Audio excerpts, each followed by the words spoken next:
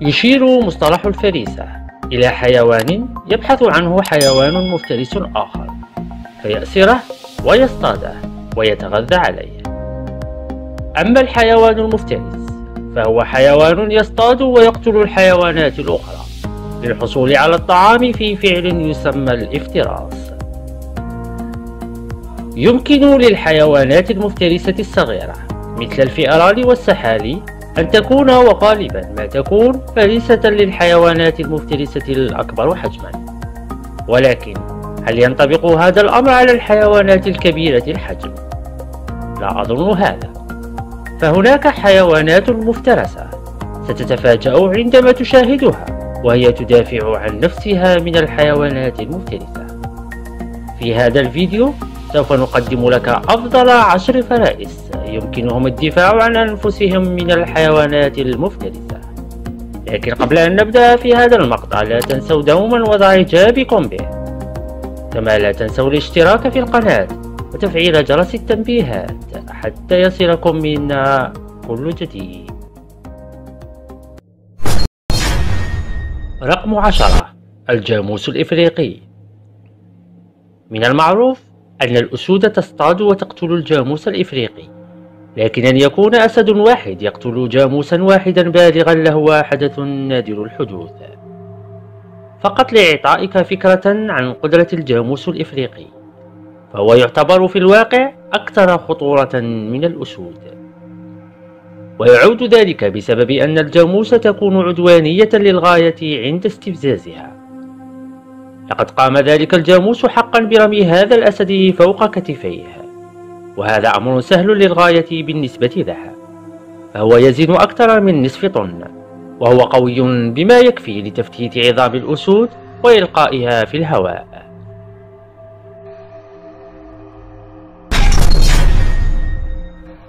تاسعا الحمار الوحشي. جميعنا يعرف أن الحمار الوحشي هو من أكثر الحيوانات الأليفة والمسالمة في عالم الغاب. لكن لا يعني هذا إطلاقا أنه لا يقدر عن الدفاع عن نفسه من هجمات الحيوانات المفترسة خاصة منها الأسود والتماسيح. يملك الحمار الوحشي حاسة سمع وبصر قوية جدا تمكنه من استشعار قرب الخطر منه بكل سهولة.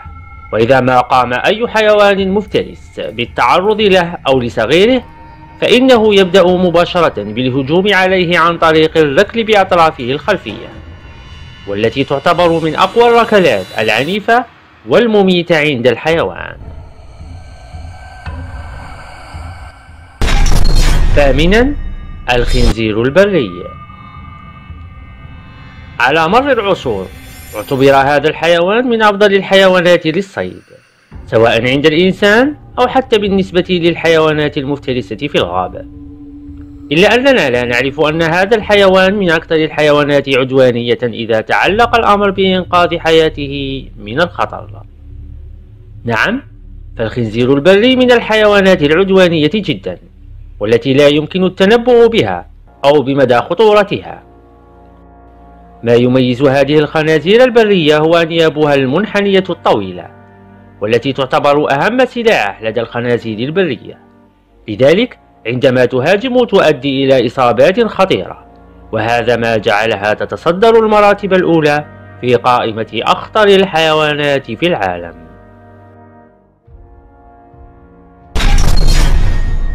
سابعا الزرافة.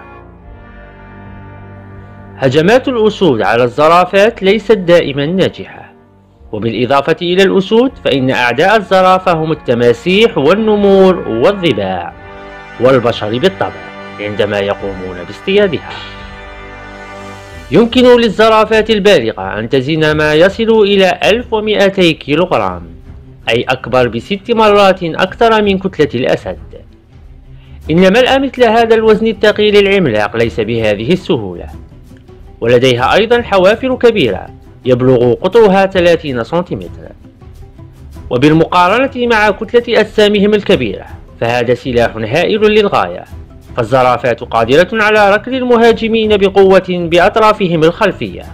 ضربة واحدة تكفي لتحطيم جمجمة أسد بالغ أو كسر أضلاعه سادسا فرس النهر. فرس النهر هو الحيوان الأكثر خطورة في إفريقيا. فهو حيوان عدواني للغاية. وكان يهاجم القوارب في النهر. إذا شعر بالتهديد فإنه يهاجم حتى الأسود أو التماسيح لذلك يعتبر من أخطر الحيوانات في عالم الحيوان. فحجمه الكبير وأسنانه الكبيرة تجعله من أخطر الحيوانات عندما يكون عدواني. فرس النهر قد يهاجم البشر أيضا. وعلى الرغم من وزنه الكبير إلا أن أفراس النهر سرعتها قليلة جدا. حيث لا تتعدى العشرين ميلا في الساعة. لذلك فكر كثيرا قبل أن تقترب من هذه الحيوانات. خامسا حيوان النيس تعتمد السلوكيات الدفاعية عند حيوان النيس على الأشواك والرائحة والصوت. وفي كثير من الأحيان تظهر هذه السلوكيات الدفاعية.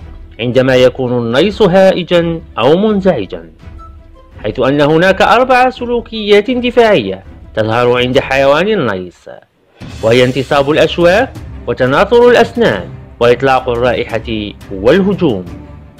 ويتم ترتيب هذه السلوكيات من الأقل إلى الأكثر عدوانية على التوالي.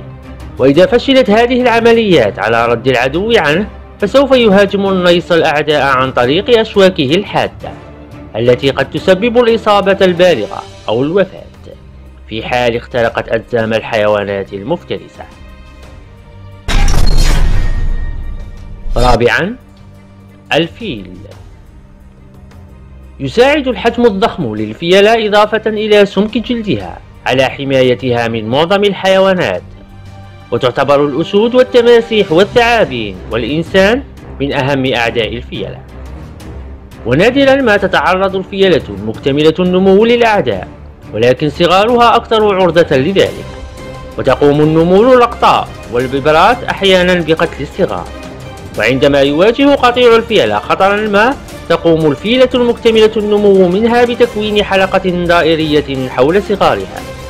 وتقوم الفيلة أيضا بإرهاب أعدائها عن طريق نصب آذانها وشد جسمها كأنها ترتعش وإذا ما حاول حيوان مهاجمة فيل فإنه يقوم بالدفاع عن نفسه بنجاح حيث يبرك عليه ويهرسه حتى الموت. وقد تستخدم الفيلة أنيابها في حالة الهجوم على أعدائها.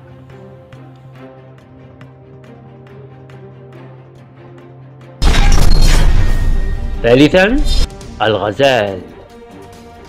يعتبر الغزال من أكثر الحيوانات جمالا ورشاقة في مملكة الحيوانات. إضافة إلى هذا فهو حيوان مسالم وأليف للغاية ويتمتع بسرعة جري كبيرة جدا. وكل هذه الأسباب جعلت منه أكثر الحيوانات عرضة للافتراس من قبل الحيوانات المفترسة والرشيقة. وأهمها النمور والفهود والأسود. إلا أن هذا الحيوان يعتمد في دفاعه على استراتيجية الهرب من المفترس في غالب الأحيان. إلا أنه يستخدم كذلك ميزة أخرى لا يعرفها القليل وهي الهجوم بقرونه الطويلة والحادة والتي يمكن أن تكون ضربة واحدة منها كفيلة بإسقاط أقوى أعدائه.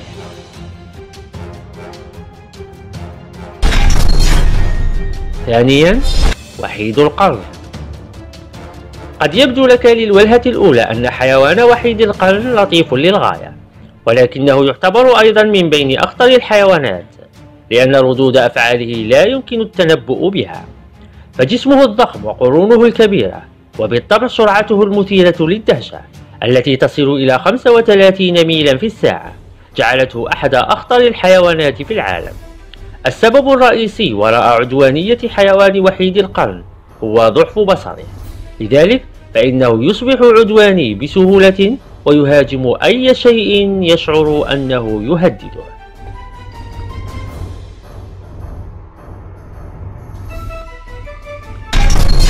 أولا حيوان النو الأزرق. النو الأزرق أو النو المتوحش. حيوان لن تجده إلا في القارة الإفريقية. يعيش بشكل قطعان كبيرة جدا قد يصل عددها إلى الآلاف في القطيع الواحد. وهو أضخم أنواع الظباء وأقلها سرعة ولهذا فهو عرضة بشكل كبير للافتراس من قبل ملوك الغابة وهم الأسود. لهذا فإن الحيوان يملك طرقا مختلفة للدفاع عن نفسه وأهمها هو تجمعه في قطعانه الكبيرة لكي لا تتمكن الحيوانات المفترسة من الاقتراب منها. كذلك يستطيع الحيوان الركض بطريقة مميزة تجعل من الملاحق يتعب بسرعة ويفشل في اللحاق به دون أن ننسى القفز العالي الذي يتمتع به هذا الحيوان والذي يحول دون الإيقاع به بسهولة.